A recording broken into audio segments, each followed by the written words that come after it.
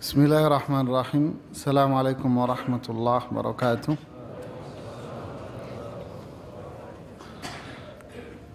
إن الحمد لله حمدا طيبا مباركا فيه كما يحب ربنا ويرضاه نحمده ونستعينه ونستغفره والصلاة والسلام على رسول الله وعلى آله وأصحابه ومن اهتدى بهديه إلى يوم الدين أما بعد Para jemaah rahimani wa rahimakumullah Kita lanjutkan kajian kita pada surat Al-Balad Sedikit mengulang dari awal surat Allah subhanahu wa ta'ala berfirman La uqsimu bihadal balad Ini adalah sumpah Allah bersumpah atas nama satu kota yang suci. Yang dimaksud balad di sini adalah kota Makkah. Kota yang penuh dengan kemuliaan. Wa anta hillum bihadzal balad. Dan waktu itu kamu Muhammad lagi ada di kota itu. Berada di kota itu. Atau maknanya kota ini di hari itu menjadi halal buat kamu. Wa walidin wa ma walad. Dan Allah bersumpah pula walid ayah wa ma walad dan anaknya. Banyak dari para ahli tafsir memaknai ayah di sini adalah Adam. Wa ma walad berarti anak keturunan Adam. Kemudian Allah berfirman, "Laqad khalaqnal insana fi kabad." Sungguh kami ciptakan manusia fi kabad. Penafsiran pertama, fi kabad di sini adalah penuh dengan kesusahan, kesulitan. Seperti pada ayat hamalathu ummuhu apa? Wahnan. Terus ala wahnin. Apa maknanya? Apa wahnan itu? Lemah, susah, capek. Ibunya mengandung dengan penuh susah payah. Ala wahnin di atas kelemahan. Udah susah, capek, lemah lagi. Penuh dengan kesusahan hamalathu ummuhu kurha wa wada'athu kurha. Di ayat yang lain sama. Ibunya mengandung dengan kurha dengan penuh susah payah. Dan melahirkannya pun susah payah. Nyawa taruhan kata orang. Kemudian ketika lahir dia pun susah payah menghadapi kehidupan ini. Wafat lebih susah lagi. Di alam kubur lebih susah daripada hidup di dunia. Di akhirat lebih lagi susahnya, Pak. Ya. Kata Imam As-Sa'di, untuk itu manusia berkewajiban untuk mencari sesuatu yang bisa meringankan kesulitan ini. Apa itu? Tauhid dan ketaatan kepada Allah. Makna yang kedua, laqad khalaqnal insana fi kabad. Artinya sama dengan surat At-Tin. Laqad khalaqnal insana fi ahsani taqwim. Maknanya sama. Dan juga pada ayat wa nafsin wa ma sawaha. Artinya sama. Ya. Kita sampai di sini. Kita lanjutkan pada ayat yang ke kelima. Ya. Di ayat yang kelima di sini Allah berfirman, "Ayahsabu an la yaqdira alaihi ahada." Ya. Kembali ke atasnya sebelum memaknai ini. Sebagian para ahli tafsir mengatakan ayat yang keempat ini ayat yang keempat ini sebagian mengatakan ini arahnya buat orang kafir. Ya, orang kafir hidupnya penuh dengan susah. Hidupnya stres Pak mereka. Ya, orang kafir susah, stres. Adapun orang beriman tidak. Kenapa? Iman dia yang menjadikan hidupnya dia bahagia. Jalan yang dilalui sama. Jalur yang dilalui sama. Semuanya sama-sama berasal dari seorang ibu. Semuanya dikandung dengan susah, dilahirkan dari seorang ibu, hidup di dunia sama-sama hidup di dunia. Tapi yang membedakan adalah beriman.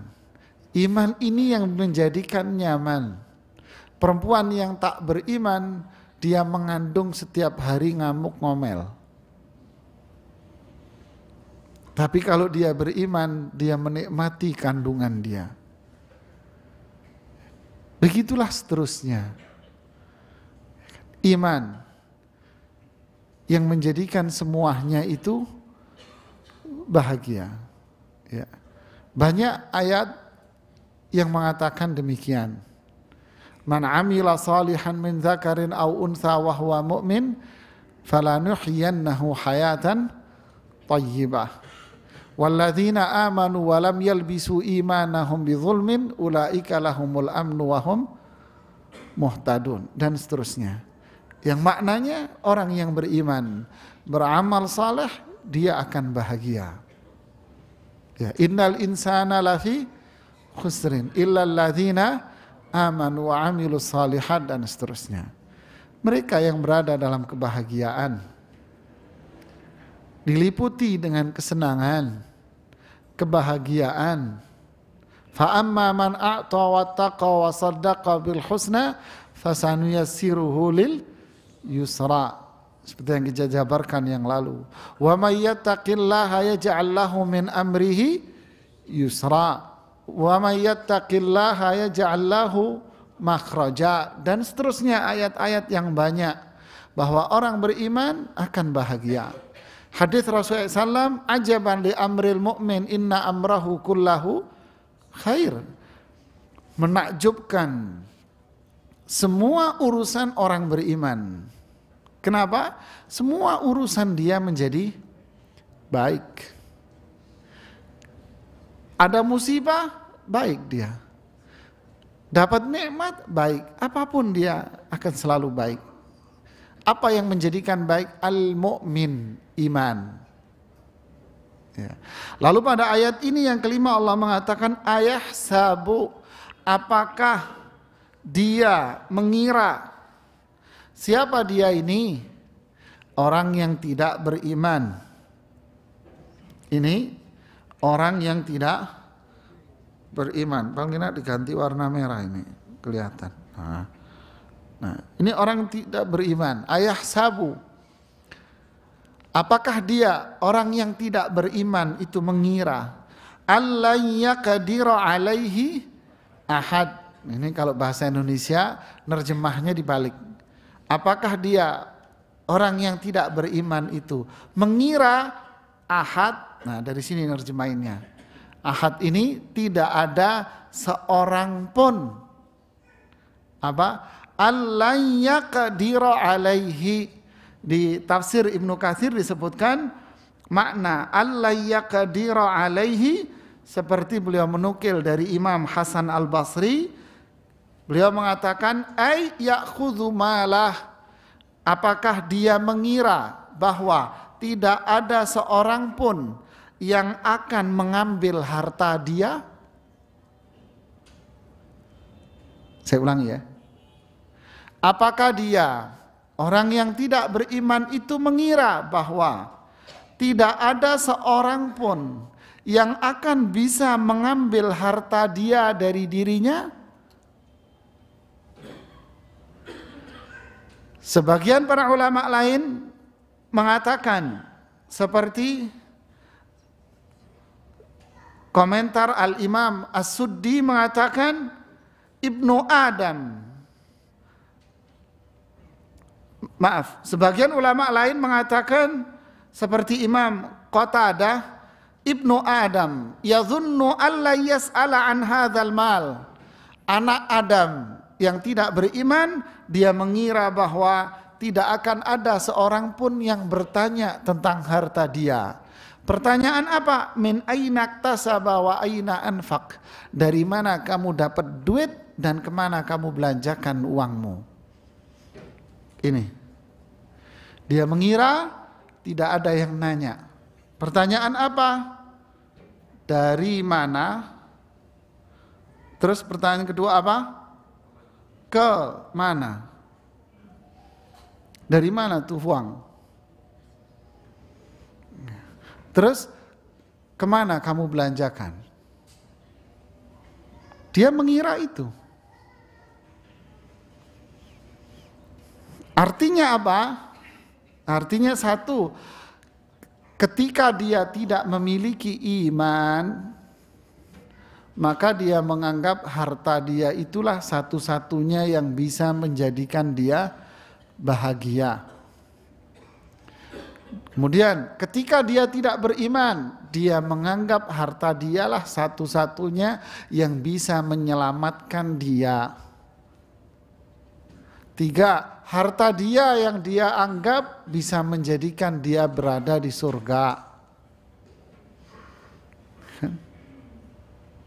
Ini anggapan mereka. Dan ini akhirnya menjadi pola berpikir masyarakat modern. Terus larinya ke mana? larinya bahwa semua orientasi masyarakat modern sekarang larinya ke mana? Fulus. Larinya ke situ karena menganggapnya itu sudah. Kemudian akibat dari ini dia pun tutup mata ketika mencari uang. Dia tidak memperdulikan lagi dan dia tidak tahu lagi mana yang haram dan mana yang halal. Tutup mata dia sudah. Buta matanya sudah. Yang penting saya dapat fulus. Dan terkadang dia tahu bahwa ini haram, tapi masa bodoh. Dia masa bodoh, dia tahu ini haram, Masa bodoh dia. Teman-teman kita yang kerja di bank, dia ngaji, dia tahu itu haram, tapi kenapa Anda masih duduk di situ? Hah? Kenapa? Kenapa mas? Saya bilang. Hah? Saya ngomong begini terang-terangan kemarin di gedung HSBC. Eh kalian semua ngapain duduk di sini? Yang masuk ke perutmu itu haram, saya bilang.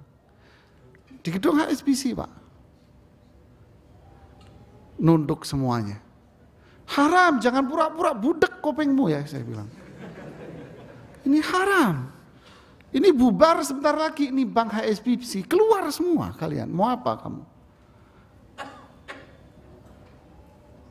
Nah ini kadang itu Pak orientasi. Nanti kalau saya keluar dari sini kerja di mana? Dia nganggep dia nggak bakal ditanya sama Allah. La tazula qadama 'abdin yaumal qiyamati hatta yus'ala an arba. Kaki anak Adam tidak akan melangkah di akhirat kelak sebelum dia ditanya tentang empat. Salah satunya apa? Hartanya. Dari mana kamu peroleh? Dan ke mana kamu belanjakan tuh uang? Dari jalan yang halal? Oke dari jalan halal. Ke mana kamu belanjakan? Hanya di ayat ini menjelaskan inilah yang ada di otak orang yang tidak beriman.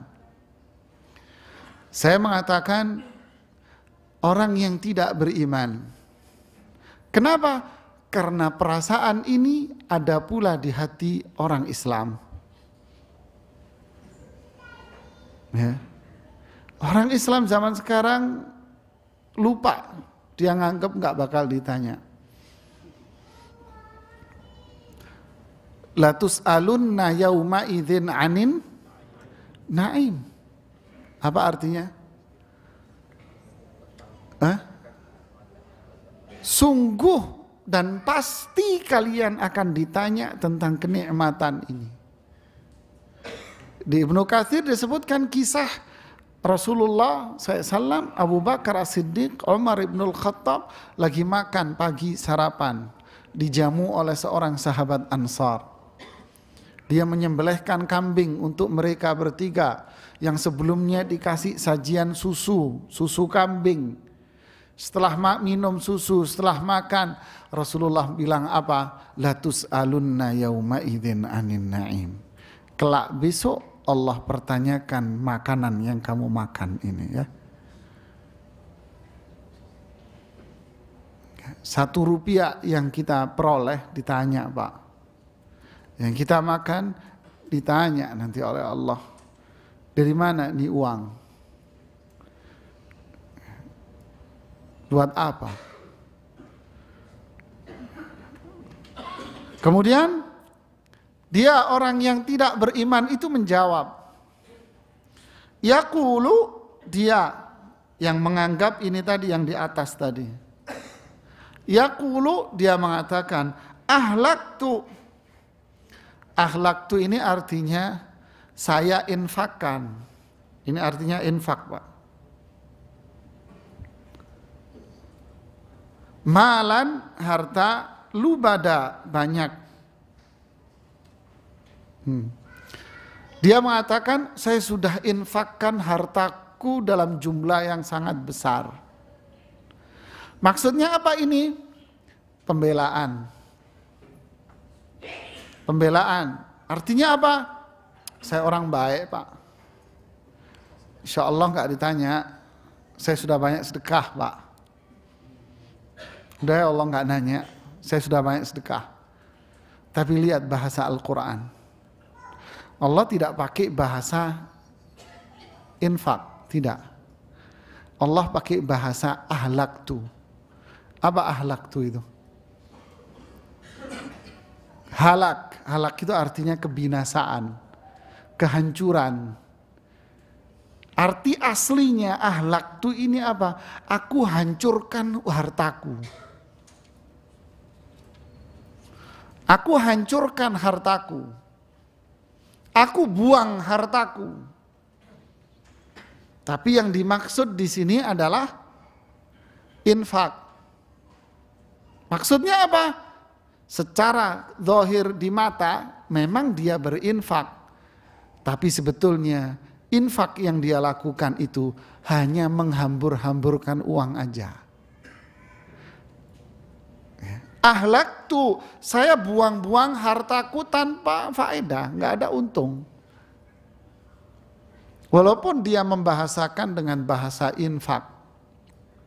Kata para ulama, ini menunjukkan bahwa infak, sedekah yang dilakukan oleh mereka yang tidak beriman itu bukanlah infak. Tapi itu adalah membuang harta dia tanpa manfaat. Saya teringat hadis Abu Hurairah yang ada di Sahih Muslim itu ketika Rasulullah SAW mengatakan awalun nasi yuqda yaumal qiyamah manusia yang pertama kali dihisab oleh Allah. Di situ sebutkan ada tiga orang. Yang terakhir disebutkan siapa? Seorang dipanggil oleh Allah fa'arrafahu ni'amahu fa'arafaha. Allah ingatkan nikmat-nikmat yang Allah berikan kepada dia. Lalu dia mengakui nikmat itu. Kemudian Allah eh, bertanya kepada dia madza amil tabiha apa yang kamu lakukan atas nikmat yang aku berikan kepada kamu nikmat rezeki, nikmat uang, materi saya kasih kepada kamu, kamu buat apa? Dia jawab, "Ma taraktu min sabilin illa wa anfaqtu fik." tidak ada satu jalan pun melainkan aku belanjakan hartaku karena engkau ya Allah. Allah jawab apa? Kadabt, bohong kamu. Kamu cuma menghambur-hamburkan uang saja. Fa umira bihi fasuhiba ala wajihi finnar. Lalu Allah, Allah memerintahkan malaikat untuk menyeret dia dan dilempar ke dalam neraka jahanam kepalanya duluan. Kok bisa? Ya, infaknya bukan karena Allah. Bisa jadi infaknya satu, hanya karena faktor duniawi. Cari pujian. Dua, kayak orang mancing, Mbak. Kailnya lobster. Ingin mendapat keuntungan yang lebih besar. Tiga, dia belanjakan hartanya untuk memuaskan hawa nafsu saja. Ahlak tuh, lihat bahasa Al-Quran. Ya, dia sebetulnya hanya buang-buang uang saja. Buang-buang uang saja. Jadi manusia diciptakan oleh Allah memang hidup ini penuh dengan susah.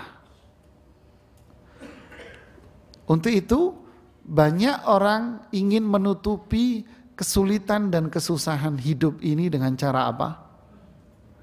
Dengan cara materi, Pak. Dia menganggap kesulitan dia akan hilang kalau dia memiliki materi. Na'udzubillahi. Lalu Allah mengatakan lima. Kemudian Allah mengatakan, Ayah sabu alam yarahu ahad. Ayah sab dia kembali lagi ke dia. Ya, tidakkah dia itu mengira alam yarahu ahad? Maaf, apakah dia mengira? Ya, apakah dia mengira bahwa tidak ada seorang pun yang melihatnya? Maksudnya apa? Apakah dia mengira bahwa Allah tidak melihat dia? Apakah dia mengira Allah nggak tahu?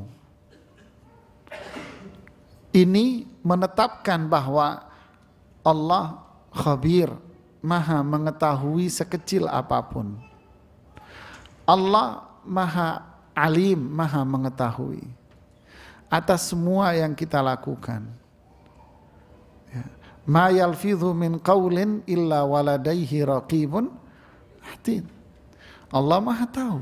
Kamu belanjakan ke mana duitmu Allah maha tahu. Apa pun yang diperbuat Allah maha tahu. Jadi ayat ini secara tidak langsung menjelaskan menyebutkan keagungan Allah. Allah maha mengetahui apa pun yang ada di alam semesta. Siapa dia yang beriman? Ketika ini hilang pada dirinya, maka manusia cenderung berbuat semaunya sendiri. Coba lihat contoh kasus dalam sejarah. Abu Sofyan membelanjakan uangnya begitu begitu besar untuk perang Uhud itu begitu besar dia belanjakan. Abu Jahal begitu besar dia membelanjakan uangnya. Hindun membelanjakan uangnya begitu besar untuk perang Uhud. Kenapa? Demi balas dendam. Ya. Demi membunuh Rasulullah sallallahu alaihi wasallam. Dibelanjakan habis-habisan sama dia. Luar biasa dia belanjakan.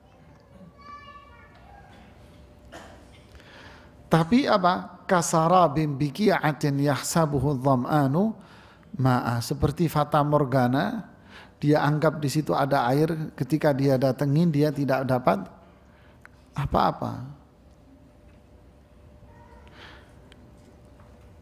Uthman bin Affan juga membelanjakan hartanya begitu besar. Tapi beda jauh di antara keduanya. Fama li ahadin indahu min ni'matin tujza illa ibtigha'a wajhi rabbihil a'la. Tidaklah ada satu orang yang akan mendapatkan sebuah kenikmatan kecuali ketika dia melakukan itu dia mengharapkan wajah Allah. Hasilnya fala saufa yarda. Hasilnya Allah akan ridha sama dia. Inilah keberkahan. Beda antara dua ini. Mereka membelanjakan sama-sama membelanjakan ini di jalan Allah dan ini di jalan syahwat. Ya. Dia menganggap Allah nggak tahu. Yang satu yakin bahwa Allah Maha Tahu. Yang satu yakin bahwasannya apa yang di sisi Allah jauh lebih mulia daripada harta saya. Yang lain membelanjakan hartanya untuk apa? Untuk ego, untuk kepuasan, untuk dendam, dan seterusnya untuk faktor-faktor duniawi yang lainnya. Dia menganggap Allah nggak tahu. Allah hancurkan semuanya. Karena beda niat Pak. Iman yang menentukan. Kemudian Allah mengingatkan kembali orang-orang yang seperti itu. Dengan apa? Menyebutkan kenikmatan-kenikmatannya. Alam naja'al tidakkah kami kata Allah. Kami berikan kepada dia ainain kedua mata. Untuk apa? Agar kamu bisa melihat mana yang benar, mana yang salah.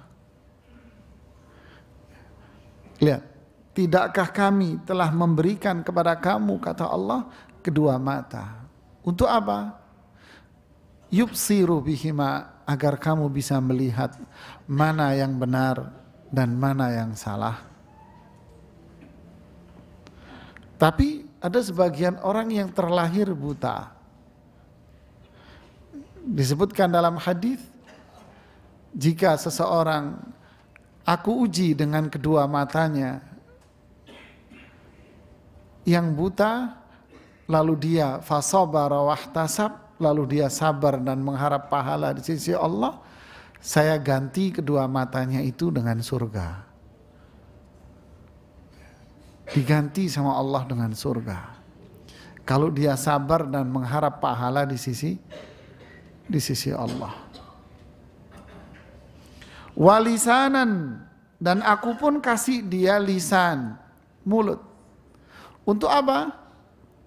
Berbicara, berzikir, tutur kata yang baik. Wasafatain, mulutlah ini lidah, dan kedua bibir.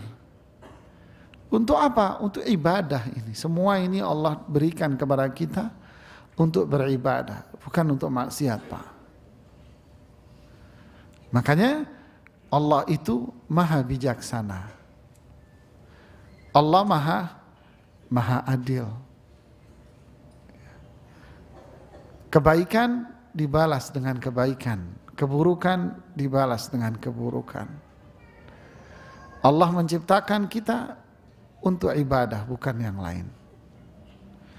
Wahadainahu an-najdain. Apa maksud hadainahu? Kami berikan hidayah kepadanya. Maksudnya di sini adalah dijelaskan, Pak. Eh? Dijelaskan. Ya. Kami telah menjelaskan kepada kalian.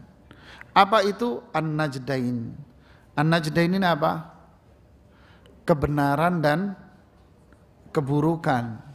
Allah jelaskan kepada kita mana yang buruk dan mana yang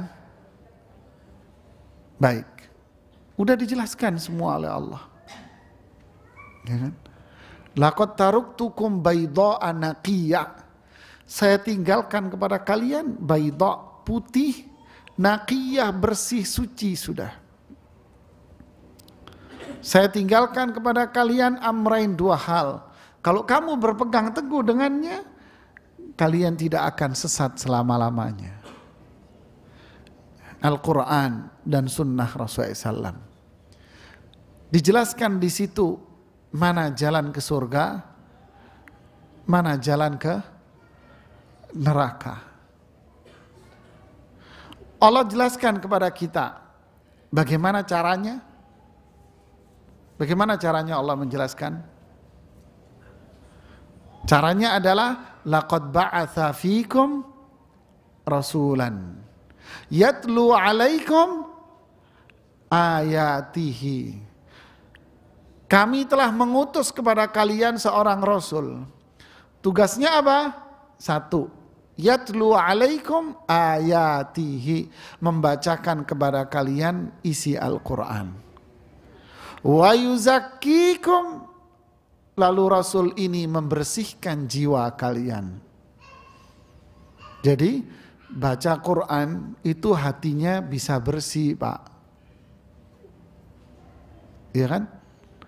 Yang ketiga wa yu'allimukumul kitaba wal hikmah. Rasul ini mengajarkan kepada kalian isi Al-Quran yang dibaca tadi dan mengajarkan kepada kalian petunjuk yang dibawa oleh Rasul ini yaitu sunnah. Inilah cara Allah menjelaskan kepada kita. Diturunkan seorang Rasul. Yang kedua, dijelas, diturunkan Al-Quran. Yang ketiga, dijelaskan oleh Rasul ini isi Al-Quran itu. Dakwah inilah tugas Rasul. Ala hal balagat ketika Rasul akhir hayat beliau sebelum wafat selalu beliau menyampaikan ala hal balagat tidakkah aku sudah menyampaikan tugasku? Para sahabat menjawab, Bala ya Rasulullah, iya Rasulullah, engkau sudah selesai tugasmu. Allahumma syahad, ya Allah persaksikan bahwa aku sudah menyampaikan semua tugas-tugasku sebagai seorang nabi. Jadi kesimpulannya apa? Kesimpulannya adalah al-yauma akmaltu lakum Islam sempurna. Apa maksud Islam sempurna? Ibnu Katsir mengatakan sempurna sudah. Tidak perlu ditambahi, tidak perlu dikurangi mas. Berarti Imam Malik mengatakan, Manibtada'a bid'atan faqad za'ama anna Muhammadan khana risalah. Siapa yang berbuat satu bid'ah saja, maka dia telah mengatakan Muhammad mengkhianati misi kenabiannya. Lihat urutannya, Pak. Kok bisa? Ya, secara tidak langsung dia mengatakan ada sesuatu ajaran yang tersembunyi. Dulu memang tidak ada zaman Nabi. Memang gak ada Pak di zaman Rasulullah. Tapi ini baik. Berarti Nabi gak nyampein ya. Sahabat gak mengamalkan dulu ya. Berarti pula dia mengklaim ada ajaran Islam yang diumpetin oleh Rasulullah SAW. Terserah Anda mau bilang bid'ah has, dolala, ada lagi bid'ah hasana. Intinya bid'ah apa mas? Tidak ada di zaman Nabi. Tidak ada zaman sahabat. Ya sudah. Kalau tidak ada, kenapa kamu bikin? Allah sudah jelaskan mana yang baik, mana yang buruk, mana yang halal, mana yang haram. Sudah. Sudah komplit, Pak. Al halalu bayin wal haramu bayin. Halal itu jelas. Haram itu udah jelas, Pak.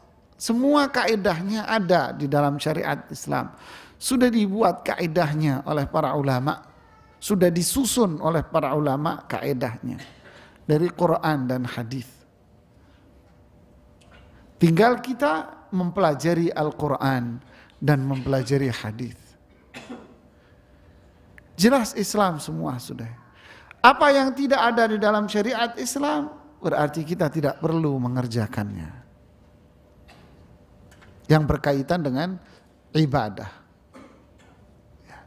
Lihat, luar biasa ayat ini. Wahadainahu an-najdain. Lihat, kami sudah jelaskan kepada kalian mana yang baik, mana ketaatan, mana maksiat, mana yang syirik, mana yang tauhid, mana yang sunnah, mana yang bid'ah. Jangan nyari-nyari sudah. Oh saya belum tahu tapi belajar. Ini syubhat pak. Syubhat itu apa? Syubhat apa? Ya. Subhat itu di kacamatanya ulama, bukan kacamata kamu. Sudah, bukan ranahmu. Ranah kita apa? Cuman satu, satu dari dua. Kalau ndak haram ya, tapi saya nggak tahu, nanya. Selesai. Jangan dikarang hukum. Beda tidak ada dari zaman Nabi. Tinggalkan sudah yang sunnah masih banyak yang belum kita kerjakan. Wahadainahu an-najdain.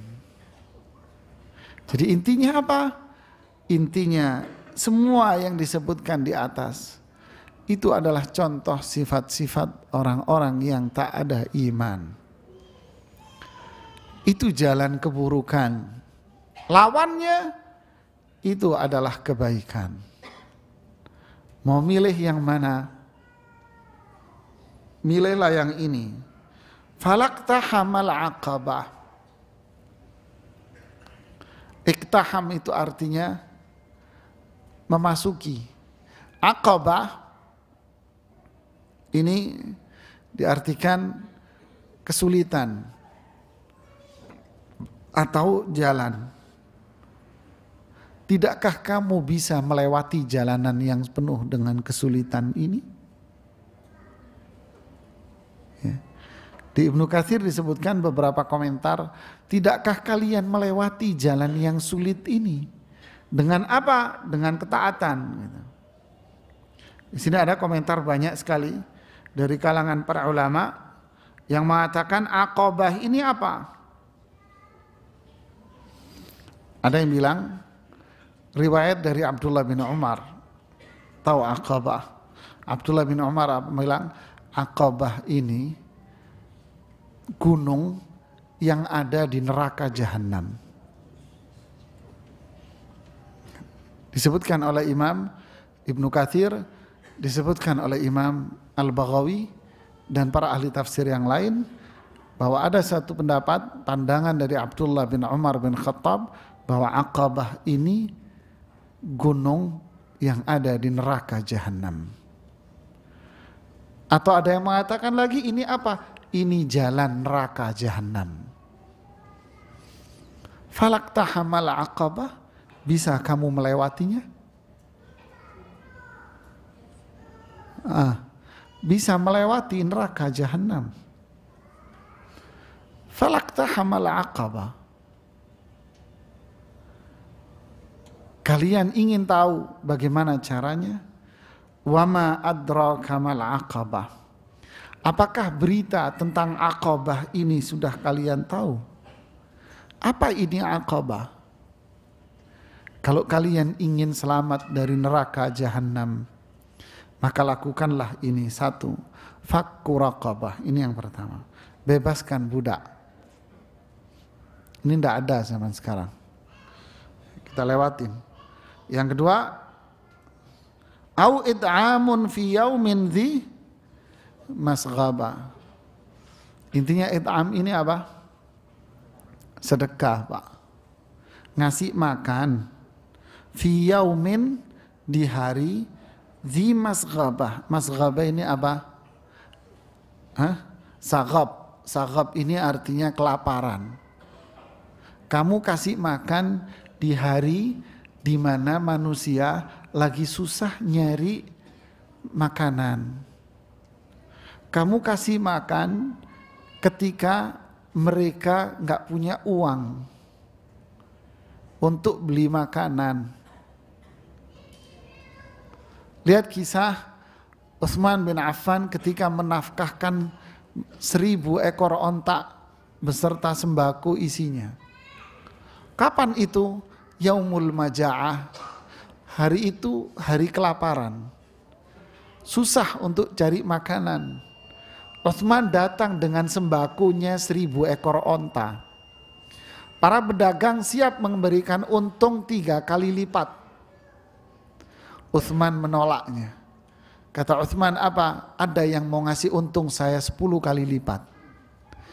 Siapa Utsman? 700 kali lipat pun dikasih saya. Siapa? Allah. Demi Allah saya sedekahkan semuanya. Hari kelaparan itu. Subhanallah. Ya. Inilah sahabat. Disedekahkan mereka. It'am fi yaumin dhimas ghaba. Kelaparan mereka. Dicukupi kebutuhannya. Luar biasa. Yatiman zama keraba. Atau kamu kasih makan anak yatim. Zama keraba yang ada hubungan kekerabatan sama kamu. Yang lainnya, ya cuman ini lebih utama. Zama kerabah maksudnya yang punya korobah, kekerabatan. Kasih makan, hidupi. Bukan katanya megang kepala anak yatim itu pahala. Satu helai dari rambut anak yatim bisa memberikan kemudahan rezeki kita. Hmm. Mas, kamu gosok-gosok kepalanya emang kenyang tuh perut. Gak mikir ya. Terus kamu gosok-gosok tuh anak terus bisa pinter otaknya gitu ya. Nggak bisa pinter mas. Yang pinter kamu sekolahin, kamu bayarin, itu pinter itu namanya. Kamu kasih makan dia pinter terus. Digosok-gosok, iya itu bagian menunjukkan kasih sayang. Kapan? Kalau kita nggak punya duit. Yes, terus bisanya cuma gosok ya kita gosok deh pak. Tapi kalau anda punya duit gosok-gosok doang, ya bakhil namanya pak. Pelit kamu namanya. Au miskinan za matraba. Miskin, matraba ini apa artinya? Matraba ini turab. Turab itu apa? Debu. Orang miskin yang sampai bersentuhan dengan debu. Maksudnya apa? Udah miskin sekali. Sangat miskin dia. Ini santunin ini mereka ini orang-orang ini bantuin. Kalau kita ingin melewati neraka jahanam. Ya. Yukadzi biddin. Orang yang mendustakan hari akhir. Fadzalika alladhi yadu'ul Tuh sama kan? Enggak mau. Wala yahuddu ala ta'amil miskin tuh yatiman dha matraba. Ini sodakah, ini artinya. Thumma kana minal ladhina amanu wa tawasaw bis sabri wa bil. Orang yang melakukan di atas tadi itu apa? Menyantuni masyarakat yang lagi kelaparan, menyantuni fakir miskin, anak yatim. Yang melakukan itu adalah orang yang punya iman, Mas. Dan orang itu selalu bersabar. Sabar ketika beribadah, sabar bersedekah, semua penuh kesabaran. Watawasau bil marhamah, ngajak orang lain untuk memiliki kasih sayang. Ayo patungan yuk ngumpulin duit, nyantunin mereka. Ngajak orang, ayo ayo mas patungan yuk kita santunin mereka yang nggak bisa sekolah kita sekolahin. Ngajak orang, dasarnya apa? Iman. Ulaika ashabul inilah orang-orang yang dapat catatannya dengan tangan kanan. Penghuni surga ini. Iman, dasarnya apa? Iman. Lah kalau yang tadi membuang hartanya bukan iman dasarnya. Tapi ini iman. Hal ini sedikit penjelasan kita dari surat Al-Balad. Nah, kita lanjutkan setelah sholat isya ya. Bismillahirrahmanirrahim. Alhamdulillahi wa ba'd. Kesimpulan dari ayat-ayat di atas kalau kita cermati ayat-ayat itu sebetulnya mengarah kepada satu kesimpulan besar ya. Apa itu? Ada hadis yang diriwayatkan oleh Al Imam Bukhari di kitabnya Al Adabul Mufrad. Ya. Para hadis nomor 299 dan disahihkan oleh Syekh Al Albani dalam kitabnya Mishkatul Masabih. Hadis ini dari sahabat Amr bin As Beliau mengatakan, Ba'atha ilayya Nabi SAW. Rasulullah SAW hendak mengutusku. Fa'amarani an akhudha alayya thiyabi wa silahi. Lalu Rasulullah SAW meminta kepadaku untuk membawa agar aku membawa pakaian-pakaianku dan membawa persenjataanku. Artinya cukup lama dan ini perang. Thumma atiyahu fafa'alt. Setelah aku pulang mengambil baju semuanya, lalu aku pun kembali datang menemui Rasulullah SAW. Ketika aku datang, Rasulullah SAW lagi berwudu. Setelah selesai berwudu, ada ilayyal basar Rasulullah mengangkat pandangannya melihatku. Artinya ngelihat dari atas, kan sampai ke bawah. Ngelihat dari atas sampai bawah. Thumma tak dari atas ke bawah. Kemudian beliau mengatakan, Ya Amr, wahai Amr bin As, ini uridu an ab'athaka ala jaish. Saya ingin mengutusmu membawa satu pasukan perang. Fayughnimuka Allah kelak kamu akan mendapatkan ghanimah. Allah akan memberikan kamu ghanimah, rampasan perang. Arghabulaka raghba minal mali salihah. Nanti saya akan bagi kamu dari rampasan perang itu. Dan ini harta yang halal loh. Artinya apa ini? Motivasi. Ya. Diutus peperangan nanti pulang kamu dapat rampasan perang. Kultu aku pun mengatakan lihat komentar Amr bin As. Inni aslam tu inni lam uslim raghbatan fil mal. Wahai Rasulullah, aku ini masuk Islam bukan cari uang. Ya Allah, lihat Pak. Wahai Rasulullah, aku masuk Islam bukan cari uang. Innama aslam tu raghbatan fil Islam. Aku masuk Islam memang untuk Islam. Untuk patuh dan taat kepada Allah. Fa'akuna ma'a Rasulillah. Dan aku berharap kelak aku bersama Rasulullah sallallahu alaihi wasallam. Lihat Pak. Lalu Rasulullah SAW bersabda, Ya Amr, wahai Amr, ni'mal malu salih lil mar'i salih. Wahai Amr, harta yang halal memang berada di tangan orang yang soleh kayak kamu. Ini kisah Amr bin As baru masuk Islam tahun 8 Hijriah. Jadi beliau baru masuk Islam langsung diutus untuk memimpin satu pasukan perang. Jadi kesimpulannya apa? Kalimat terakhir dari sabda Rasulullah ni'mal malu salih lil mar'i saleh. Sebaik-baik harta yang halal di tangan orang yang saleh. Lihat.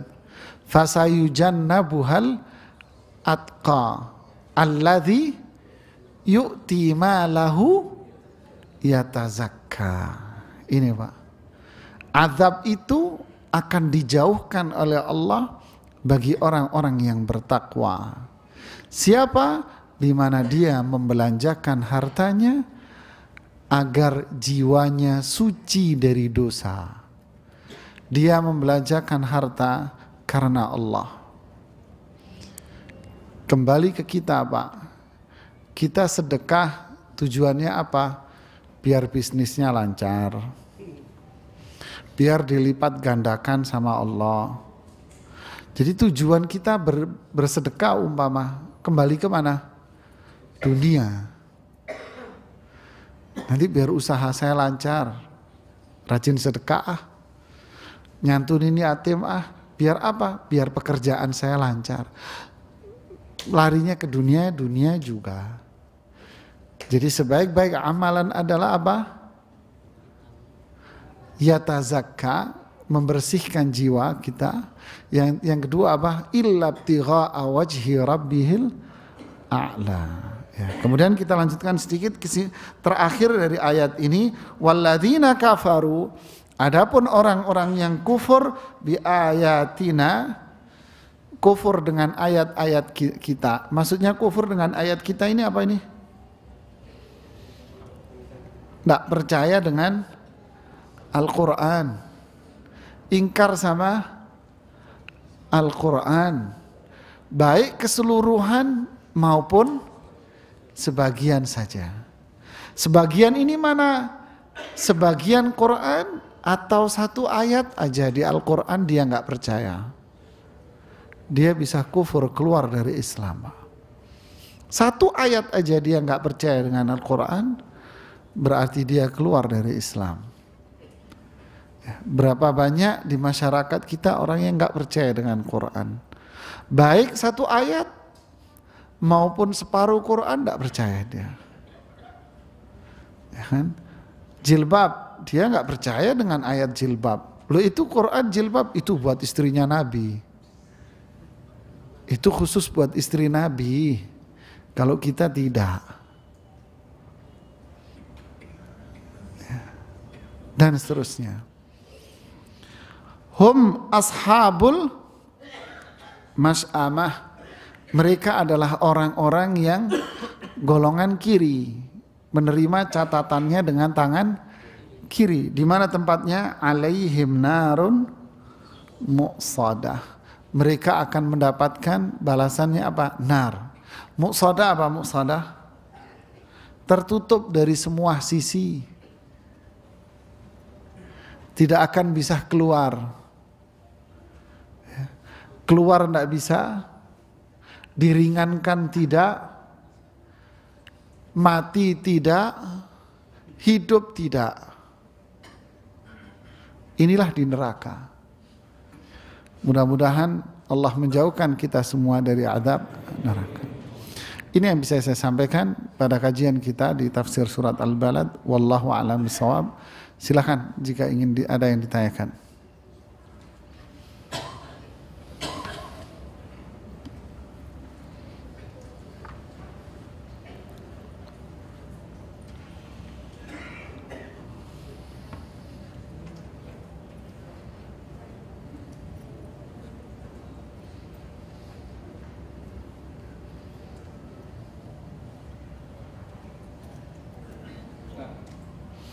Ya, fadal.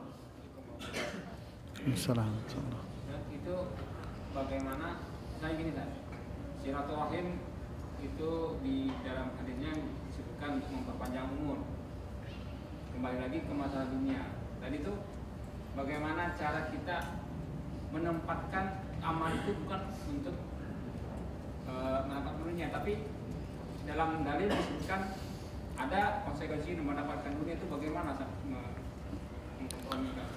Ya, di hadis disebutkan silaturahim menambah umur, melapangkan rezeki. Para ulama memaknai ada dua pandangan dari para ahli hadis. Yang pertama mengatakan memanjangkan umur itu apa? Ada yang mengatakan memang umurnya dipanjangkan secara hakiki. Tapi ini hanya Allah yang tahu. Makna yang kedua tidak. Umur itu tidak akan dipanjangkan. Umur itu sudah sudah dicatat oleh Allah. Batasnya sudah ditentukan sebelum manusia lahir. Lalu yang dimaksud panjang umur di sini apa? Manfaat dan keberkahan. Jadi manfaat umur dia, umur dia penuh dengan manfaat. Seakan-akan umurnya itu panjang. Lihatlah para ulama. Imam Al-Bukhari wafat usia berapa? Kalau nggak salah 52-an tahun beliau wafat. Tapi lihat beliau 52 tahun beliau wafat. Tapi Sepertinya umur Imam Bukhari itu nggak segitu, ya kan? Hasil karya beliau. Lebih dari itu Imam Nawawi wafat usia berapa? 45 apa 46? Lihat karya Imam Nawawi. Kapan nulisnya? Belum lagi mereka jihad melawan pasukan Mongol. Kapan nulisnya imam para ulama? Kitabnya ukuran meter semua. Begitulah para ulama. Jadi panjangkan berkah umurnya untuk ketaatan kepada Allah. Ini yang dimaksud dan ini yang lebih dikuatkan oleh para ulama. Yang dimaksud panjang umur itu adalah keberkahan umurnya untuk Islam, untuk umat Islam, untuk dakwah ini. Kemudian rezeki. Ini semua adalah rezeki itu macam-macam, Pak. Rezeki pengertian rezeki para ulama mengartikan rezeki itu banyak. Tapi kalau kita mindset kita kalau sudah ngomong rezeki itu apa? Fulus. Allah lapangkan rezekimu. Rezeki itu apa? Banyak rezeki itu, Pak. Iman itu rezeki. Amal saleh itu rezeki. Semua apa yang kita rasakan di dunia ini rezeki. Dan rezeki yang paling besar adalah iman. Islam, iman, amal saleh. Ini rezeki yang paling baik. Ya, kita berteman. Teman kita baik. Itu rezeki yang paling baik, Pak. Dapat teman baik aja sudah rezeki, sudah. Nemu teman baik itu sudah rezeki. Belum lagi manfaat dia ngajak kita sholat, ngajak kita berbuat baik, mendorong kita untuk melakukan amal saleh. Semua ini rezeki, rezeki, rezeki, rezeki, Pak. Ya kan? Waktu makan dibayarin gratis kan rezeki kan ya. Yang lain,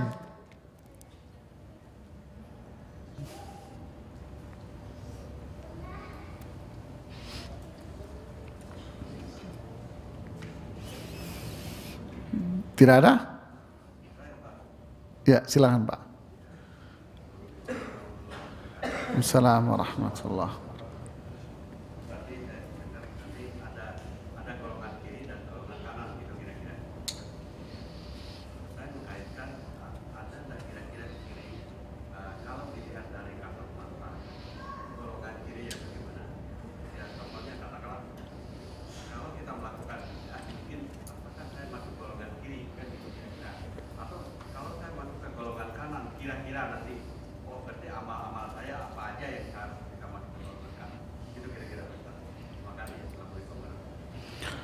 Waalaikumsalam warahmatullahi wabarakatuh. Bagus Pak pertanyaannya.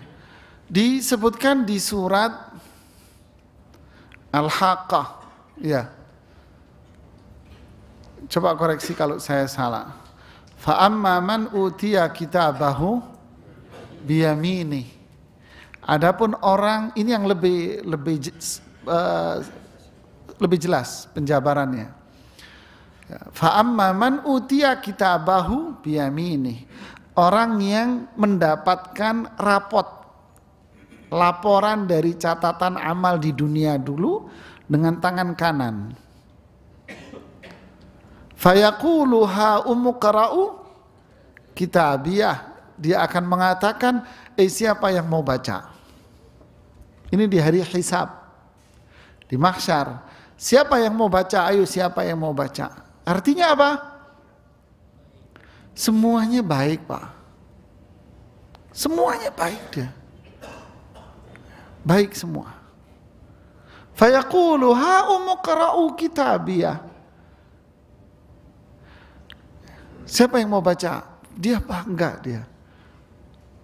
Isinya enggak ada yang merah, Pak. Kalau ada yang merah, qad ghafartu lakal yauma. Hari ini saya sudah ampuni semua dosamu. Jadi dihapus yang merah-merah sama Allah. Kebalikannya, fa'amma man utia kitabahu bisimalih dengan tangan kiri apa yang dia ucapkan? Hah? Fa'amma man utia kitabahu bisimalih fayaqulu ya laitani lam uta kitabiyah dia akan mengatakan andai aku nggak terima laporan ini Ya laitani lam uta kitabiyah. Andai aku nggak terima laporan ini. Ya laitaha kanatil qadiyah. Andai kematian itu akhir dari segala-galanya. Sudah. Seperti ucapan orang barat dan liberal. Udah kematian itu akhir dari segalanya. Lalu apa? Lalu Allah mengatakan tidak bermanfaat lagi apa? Ma'akhna anni maliyah. Hartaku tidak manfaat lagi. Tuh kembali ke pembahasan ini Pak. Ya. Hartaku nggak manfaat. Seperti yang di surat Al-Lail, ya kan? Apa? Fasanu yasiruhu lil usra wa ma yughni anhu maluhu idza taradda. Kami mudahkan dia menuju kesulitan-kesulitan dan hartanya sudah nggak manfaat. Idza taradda kalau dia wafat nggak manfaat, Pak. Halaka anni sultaniyah, kekuasaanku pun tidak manfaat. Sudah. Seperti yang manfaat dari diambil oleh para ulama dari yang di Al-Fatihah. Maliki yaumid din. Allah maha penguasa di hari pembalasan. Emang kekuasaan Allah di hari pembalasan saja di dunia tidak? Tidak. Kekuasaan Allah di dunia dan di akhirat. Tapi kenapa kok disebutkan di akhirat? Kata Syekh Muhammad Saleh Utsaimin di tafsirnya, karena di dunia banyak orang mengklaim dia yang berkuasa. Tapi ketika dia di akhirat, halaka anni sultannya habis sudah Pak. Khuduhu faghulluh. Allah mengatakan kepada para malaikat, ambil semua orang-orang ini. Faghulluh, belenggu dia dengan kedua tangannya. Belenggu itu kedua tangannya disilang begini, Pak. Ya. Lalu kedua tangannya diikatkan di kedua lehernya. Kok bisa? Iya, begini, ya. Kemudian tangannya kedua ini ditarik dari belakang, diikat tangannya sama Allah. Khuduhu faghulluh, thummal jahima salluh, lalu lemparkan dia ke dalam neraka. Jadi dibelenggu itu sebelum masuk neraka. Dibelenggu dulu, lalu dilempar ke dalam neraka jahanam. Di atas neraka jahanam, thumma fi silsilatin dar'uha sab'una dhira'an fasluku. Di dalam neraka jahanam diikat lagi orang-orang ini dengan rantai yang panjangnya sab'una dhira'a. 70 hasta. Kira hampir 40 meter, Pak. Apa? Rantai dipanggang di atas neraka jahanam. Ini golongan kiri, Pak. Kenapa? Innahu kana la yu'minu billahil azim. Dia tidak punya iman. Bisa jadi orang Islam. Dia tidak punya iman. Wala yahuddu ala ta'amil. Dia nggak pernah bersedekah. Falaisa lahul yauma hauna Hamim, hari ini dia nggak punya teman yang bisa menolong. Di ayat yang lain, al-akhillau yauma idzin ba'duhum li ba'din adu, teman satu dengan teman yang lain kelak di akhirat akan jadi musuh. Illal muttaqin kecuali teman-teman yang bertakwa. Ini yang bisa saling menolong di akhirat kelak. Makanya kembali ke pertanyaan ak tadi pertama, punya teman yang bertakwa saja itu sudah rezeki baik, Pak yang bisa menolong kita di akhirat kelak pertemanan itu. Ya itu jawabannya Pak. Ada yang ditanya lagi? Silakan Mas.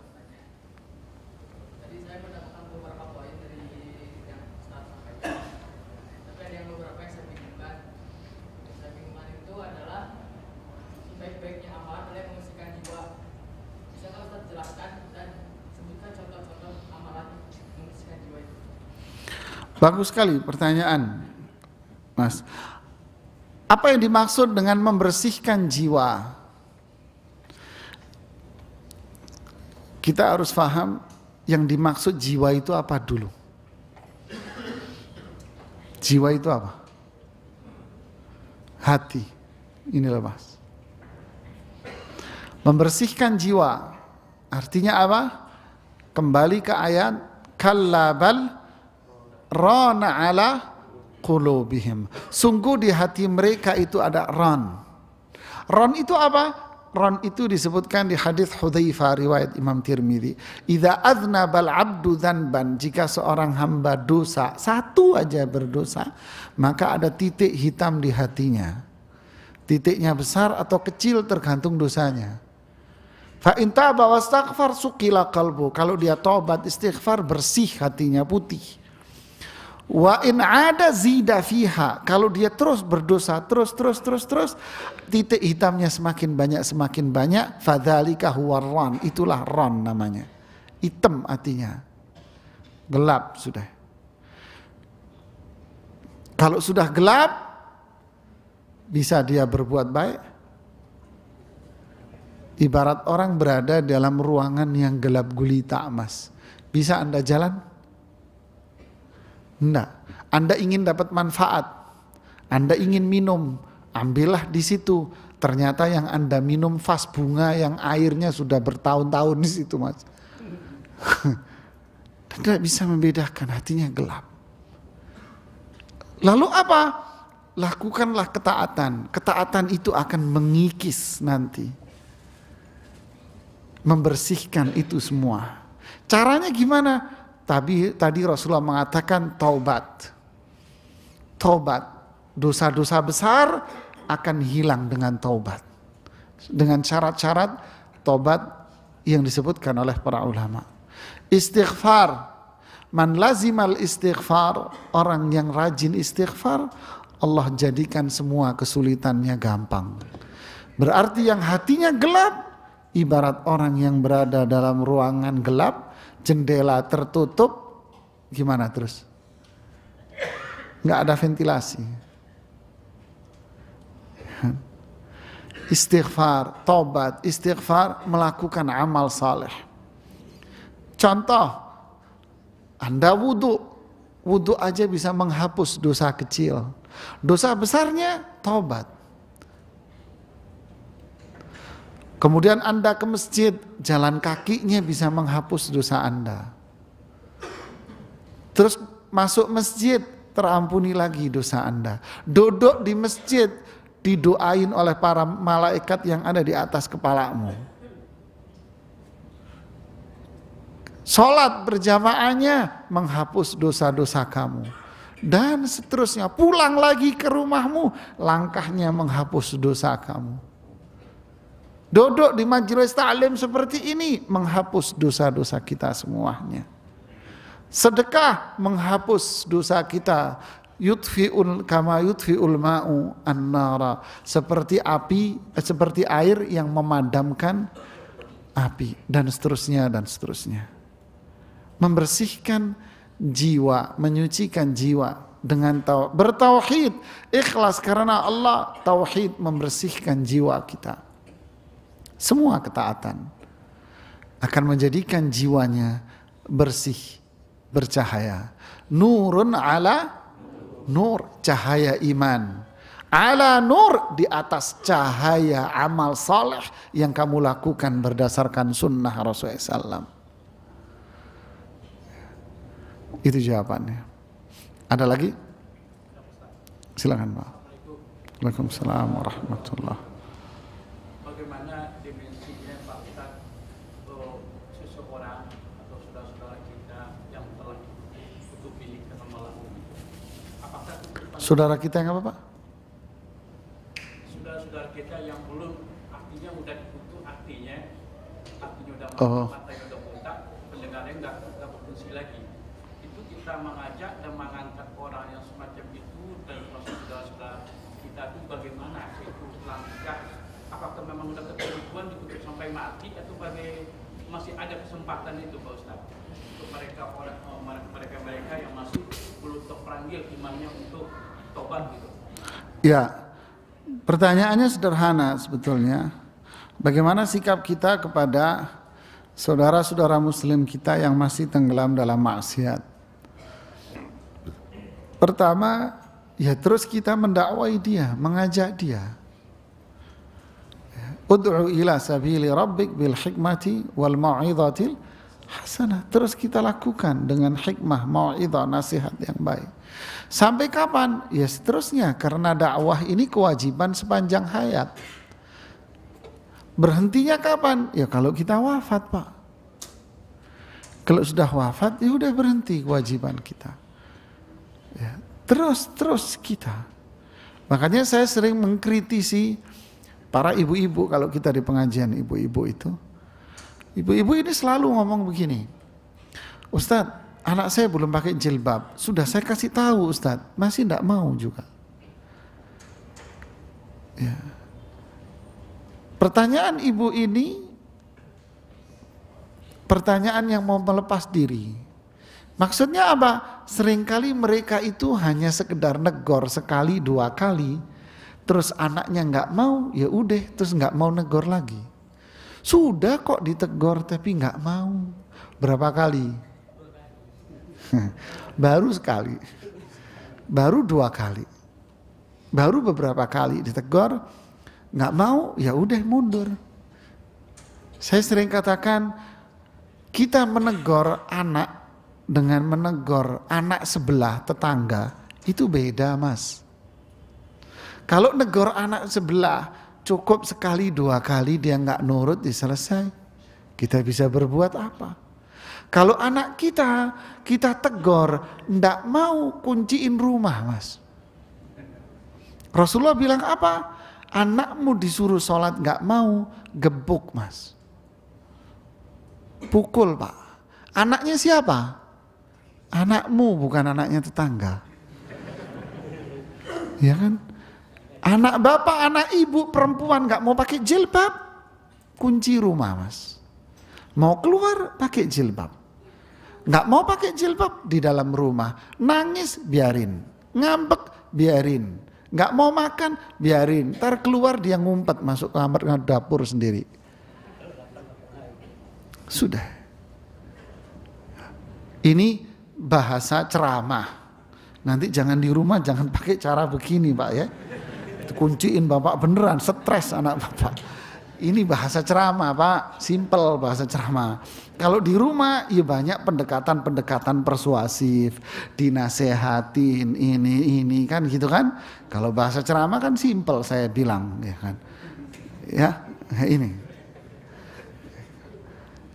Jangan seperti ada satu orang konsultasi sama saya di atas. Istrinya ngeluh, ngeluhnya apa? Suaminya tidak peduli lagi sama dia. Pulang ke rumah jam 11, jam 12 tidur. Ditanya dari mana? Bukan urusanmu. Loh, Mas, dari mana? Saya ini istrimu. Saya dari rumah ibu. Loh, Mas, saya kan istrimu. Ibu saya lebih utama daripada kamu.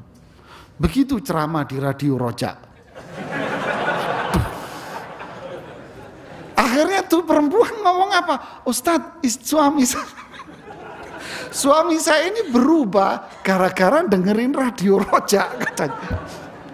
Saya bilang, Bu, apa salahnya radio rojak, Bu? Saya, radio rojak nggak salah apa-apa. Tapi bener kok Ustadz gara-gara.